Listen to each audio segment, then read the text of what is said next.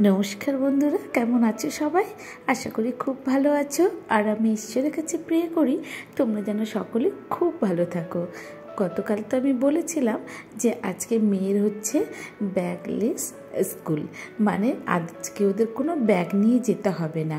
ওদের আজকে স্কুলে একটা আঁকার কম্পিটিশন আছে আর তার সাথে আছে বাচ্চাদের এই যে বানানো কিছু রেসিপি নিয়ে বা ফুড নিয়ে তাদের একটা পার্টি তো ছিল তাদের নন ফায়ার ফুড মানে এই যে রেসিপি দুটো মেয়ে তৈরি করেছে, তো সেটা কিন্তু কোনোটাই আগুন জ্বালানো হয়নি। তো এটা হচ্ছে পাউরুটি দিয়ে দই বড়া আর তার সাথে ঝুরি ভাজা এবং চাট মান, মশলা মানে এই মশলাটা কিন্তু আমি বাড়িতেই তৈরি করে দিয়েছি। আর ওইটা ছিল চকলেট বল। তো মেয়েকে স্কুলে রেখে এসে তারপরে আমি শুরু করে দিলাম আমার সকালের জলখাবারটা। তো আমি দুধ চা করলাম আর পাউরুটি দিয়ে যে মেয়ে দুই বড়া করেছিলাম, সেখান থেকে দু পিস পাউরুটি বেঁচে গেছিল। তো সেইটাই আমি সেঁকে নিলাম আমার সকালের জলখাবার হিসেবে। আর আমার হাজব্যান্ড খেয়েছে সকালবেলা রুটি তরকারি মানে সয়াবিনের তরকারি একটু ছিল সেইটা আর রুটি। মেয়েদের আজকে স্কুলে সমস্ত স্টুডেন্টসরা এইভাবে বাড়ি থেকে কিছু কিছু টিফিন বক্সে করে খাবার নিয়ে যাবে। আর সেটা আজকে তারা সমস্ত টিচার এবং স্টুডেন্টসরা মিলে এনজয় করবে। তো আজকে তারপরে আমার খুব তাড়াহুড়ো আছে। কেন বলো তো? আজকে আমাকে আমার বরের রিপোর্টগুলো টেস্টে নিয়ে যেতে হবে তোমার হসপিটালে। তো সেই জন্য ভাবছি খুব ঝটপট করে রান্না করে নিই। তো ঘরে একটু চিকেন ছিল, সেই চিকেনটাকে করে নিলাম। ভীষণ সিম্পল, আমরা প্রতিদিন যা করি সেইভাবেই করেছি। পেঁয়াজ ভেজে, একটু আলু ভেজে, যা মশলা দেওয়ার দিয়ে চিকেনটাকে বসিয়ে আমি যাচ্ছি একদম আমাদের ঘরের পেছনের দিকে।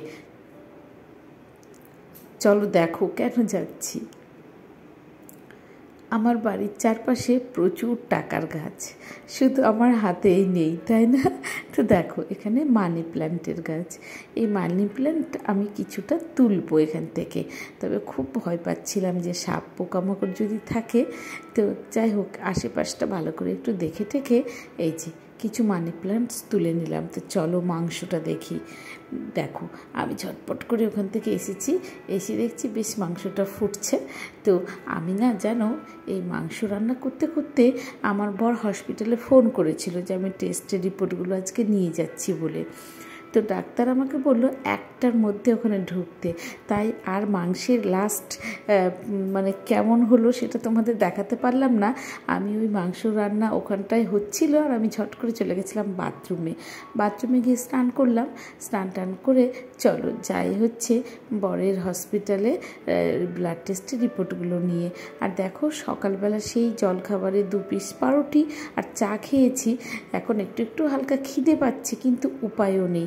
এই যে বলেছে ডাক্তার যে একটার মধ্যে ঢুকতে হবে। আর এখান থেকে তো আমাদের মোটামুটি দু ঘণ্টার মতন সময় লেগেই যায়। তো সেই জন্য আর একটুকু সময় নষ্ট না করে খুব তাড়াহুড়ো করে বেরিয়ে পড়লাম।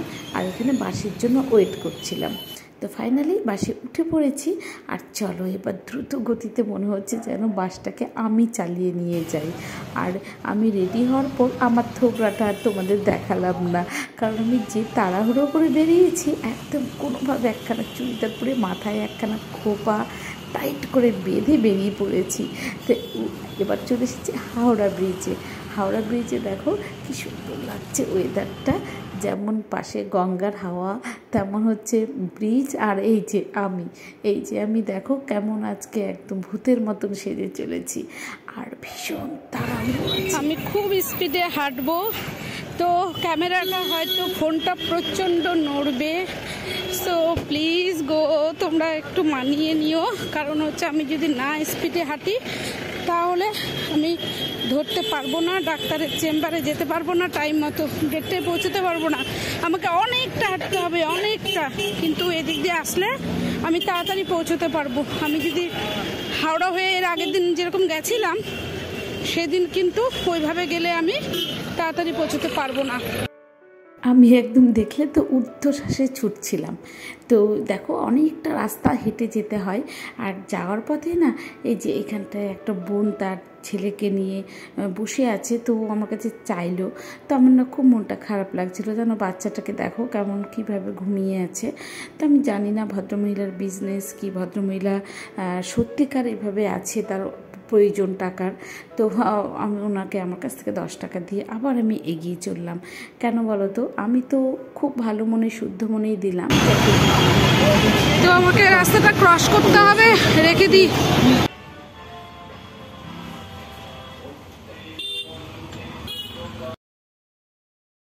তো যাই হোক তো দেখো আমি ফাইনালি এখান থেকে অটোতে বসেছি। আর আজকে যেটা হয়েছে আমি একটা জলের বোতল নিয়ে বেরোতে পারিনি। প্রচণ্ড জল তৃষ্টায় ফেটে যাচ্ছে। আর অটো করে এসে মিটু আজকে তাড়াহুড়োর মধ্যে একটু জলও নিয়ে আসতে পারিনি এত জল তেষ্টা পেয়েছে।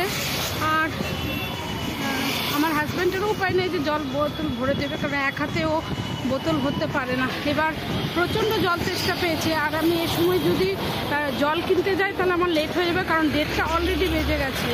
প্রচণ্ড জ্যাম অটোতে বসে মোটামুটি দশ থেকে পনেরো মিনিটের মধ্যে জ্যামের মধ্যে পড়েছিলাম। তো যাই হোক দেখি খুব তাড়াতাড়ি কিন্তু হাঁটছি আমি। দেখা যাক কী হয়। চলো। আমি ঊর্ধ্বশ্বাসে হাঁটছিলাম আর দেখো পৌঁছে গেছি ডাক্তারের কাছে।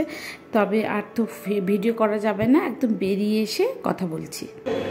তো ডাক্তারের কাছ থেকে বেরোলাম এখন। কারণ লিফট অনেক দেরি হয়। আর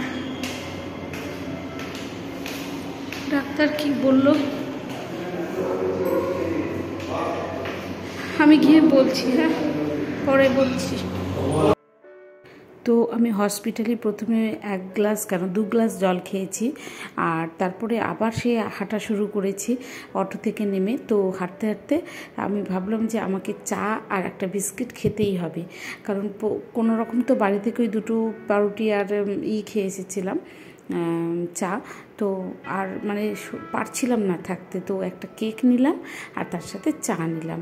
আর কি হলো, ডাক্তার কি বলল, না বলল, সবটা অবশ্যই তোমাদের সাথে শেয়ার করব। তো তোমরা পুরো ভিডিওটা দেখো বন্ধুরা। আর দেখো, যাওয়ার সময় মনে হলো যে একটু তোমাদের সাথে শেয়ার করি যে কলকাতার বুকে পনেরোই আগস্ট কীভাবে পালন হয়। তো দেখো, কি সুন্দর করে সাজিয়েছে আমাদের জাতীয় পতাকা দিয়ে পুরো শহরটাকে খুব সুন্দর করে সাজিয়ে তুলেছে। তো যাওয়ার পথে এখানটায় কিছু কিছু দৃশ্য যা তোমাদের সাথে শেয়ার করলাম। আর বন্ধুরা আমি নিউরো সায়েন্স একটা কলকাতা কেন একটা ওয়ার্ল্ডের মধ্যে বলতে পারো, খুব বড় একটা হসপিটাল ব্রেন বলো, স্পাইনাল কর্ড বলো, নিউরো বলো, তো আমি তোমাদের হাওড়া থেকে দুই দিন দুইভাবে গেছি আর দুটো রাস্তায় তোমাদের সাথে শেয়ার করব যাতে তোমাদের খুব উপকারে লাগে। ঠিক আছে বন্ধুরা? তো দেখো এখানে ভোলে বোমের কত সবাই ছিল, তো চলো আমরা বাড়ি পৌঁছে যাচ্ছি, পৌঁছানোর পথে বাড়িতে গিয়ে আবার কথা বলছি। তো ফাইনালি বাড়ি পৌঁছে গেছি এবং আমি তোমাদের সাথে পুরোটা শেয়ার করব যে কি বলল, ডাক্তার না বলল। তবে ডাক্তারের কথা শুনে আমাদের সকলেরই মাথা ঘুরে গেছে। কারণ ডাক্তার যা যা বলল, আমার বর কতটা কি তা করবে আমি জানি না। তো চলো পুরোটা তোমাদের সাথে শেয়ার করি।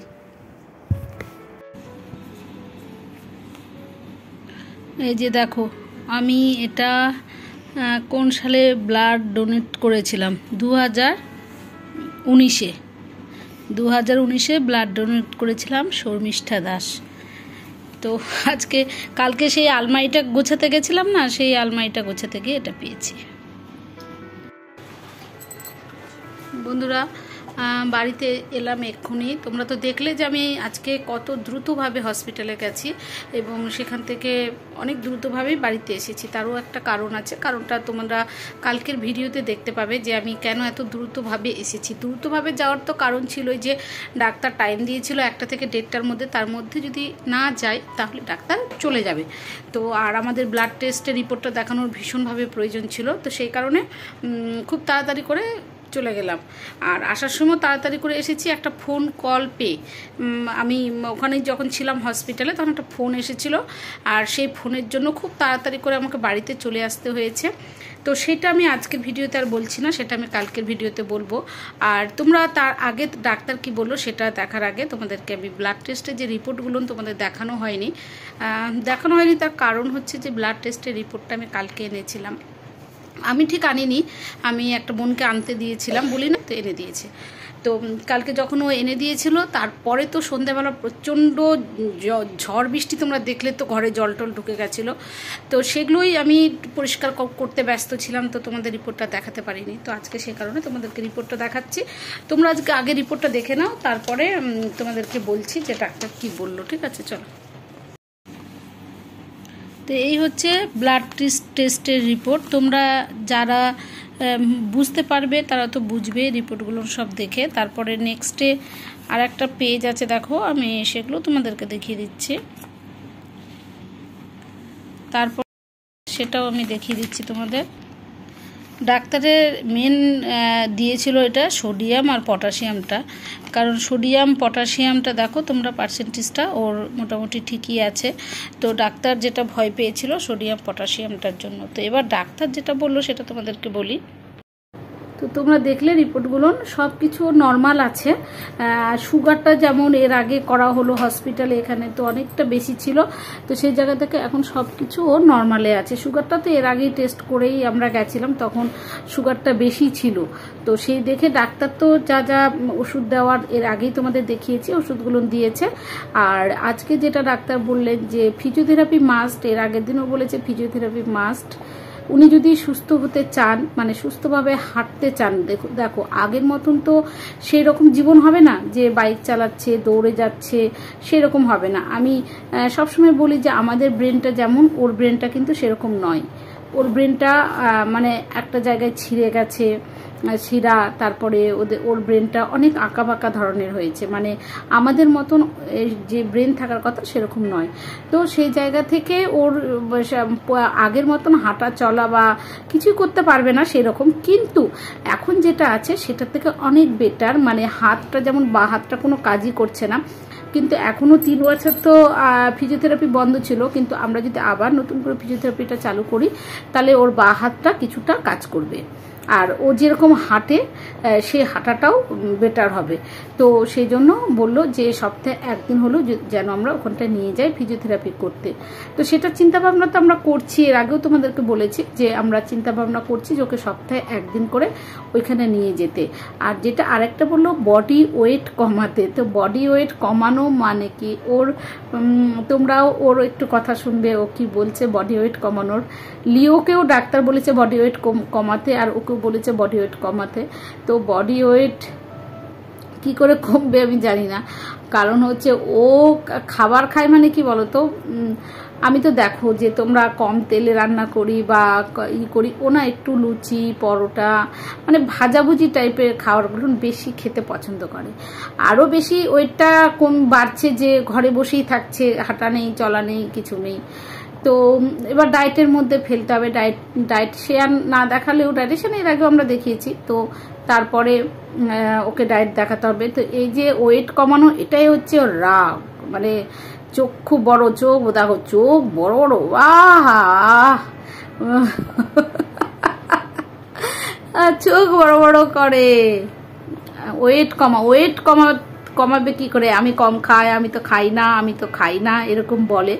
তো, ওয়েটটা কমাতে হবে। যখন ওনা মানে একদম অসুস্থ ছিল, বিছানায় ছিল, তখন আমি নিজের হাতে খাইয়ে দিতাম। ও তো খাওয়াতে, খেতে পারতো না, তো আমি খাইয়ে দিতাম। তো খাইয়ে দিতাম, তখন আমি পরিমাপে খাওয়াতাম এবং তোমার কি ছিল বলো তো রান্নাবান্নাগুলো সেরকমই ছিল যে, সবজির পরিমাণটা বেশি দিতাম, হয়তো একটা দুটো রুটি দিলাম বা সবজিটা অনেক বাটি ভর্তি করে দিতাম। তো, এইরকম ছিল তখন রুটিন আর এখন হচ্ছে ওর যা রুটিন হয়েছে, সেটা আর বলে বোঝানোর যাবে না তোমাদেরকে। তো কি বলব বলো? হ্যাঁ তো এই হচ্ছে ওর ওয়েট কমাতে বলেছে ডাক্তার। তো দেখা যাক, আর আর একটা কি দোষ বলো তো, ও নিজে একটুকু ফিজিওথেরাপি করতে চায় না, যে সোজা করে হাঁটতে বলছি, একটু হাঁটার চেষ্টা করি, বা পাটা ওঠা নামানোর কথা বলছি, সেটা নামাই, বা হাতটা একটু উঁচু করে ধরি নামাই নামাই না, করে না। যখন আমরা করে দেবো, আমি বা মেয়ে তখনই করবে, নিজের থেকে করতে চায় না। তো এই এই সমস্ত বিষয়গুলো, যাকে মনের থেকে তবু একটা খুব শান্তি লাগছে যে ও রিপোর্টগুলো সব ভালো আছে। রিপোর্টগুলো যদি খারাপ হতো, জানি না কি যে করতাম, কি যে হতো। আচ্ছা এবার হচ্ছে গিয়ে লিওর রিপোর্টগুলো লিওর রিপোর্টগুলো নিয়ে আসার পর যদি দেখি লিওর রিপোর্টও নর্মাল আছে, ঠিকঠাক আছে, তাহলে যাকে এ যাত্রায় আমরা সবাই সব কিছুতে বেঁচে গেলাম। আবার আগামীতে আমার হাজব্যান্ডের আবার আগামী তিন মাস পর আবার ডাক্তার দেখানোর ডেট আছে। তখন আবার এই পটাশিয়াম, সোডিয়াম আর ই টেস্ট সুগার টেস্টটা করে নিয়ে যেতে বলল। তো সেই হিসেবে নিয়ে যাব। আর এই প্রতি সপ্তাহে একটা একবার করে ফিজিওথেরাপিটাই আমাদের মাথা খারাপ করে দিচ্ছে।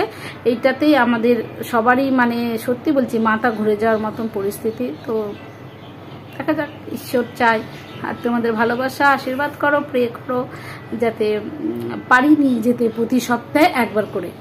তো, ঠিক আছে বন্ধুরা, আজকের এই ভিডিওটা এখানেই শেষ করে দেবো।